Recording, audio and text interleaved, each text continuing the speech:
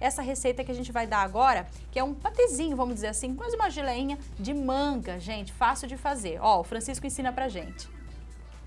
Então, Mira, agora vamos à segunda receita e aos ingredientes do chutney de manga. São duas mangas maduras picadas, um quarto de pimentão vermelho picado em cubos pequenos, meia cebola média picada, quatro dentes de alhos picados, 100 gramas de gengibre fresco ralado, 50 gramas de uva passas preta, canela em rama a gosto, pimenta calabresa a gosto, cravo da Índia a gosto, uma maçã, sementes de cardamomo triturada a gosto.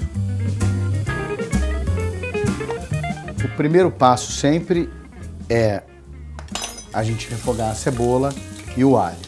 E logo que deu a primeira murchada, lembrando que sempre com azeite extra virgem, a gente vai colocar a maçã picada.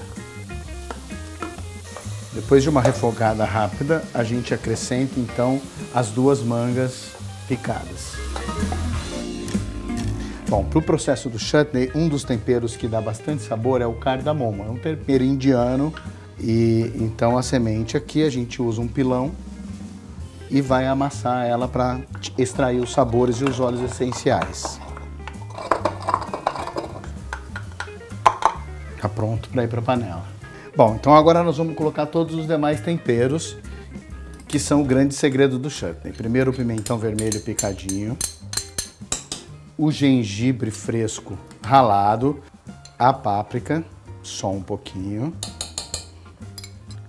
a sementinha do cardamomo que nós maceramos para retirar os óleos essenciais e o sabor. A canela em rama, dá preferência para colocar os pedaços maiores, porque eles têm que ser retirados depois. A uva passas e o cravo da Índia, lembrando de tirar a pontinha dele. E para finalizar, vai uma pitadinha de pimenta calabresa. Agora é só mexer e esperar ele cozinhar, acrescentando um pouco de água filtrada para depois a gente finalizar a receita. Agora, antes da gente finalizar o cozimento, a gente tem um truquezinho para não ficar os pedaços muito grandes. É usar este equipamento que não é um, um instrumento de tortura.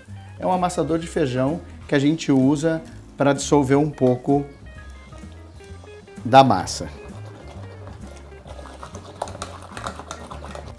Para finalizar, vai uma pitada de sal, porque ele tem que lembrar o doce e o salgado. Está finalizado o nosso chutney de manga.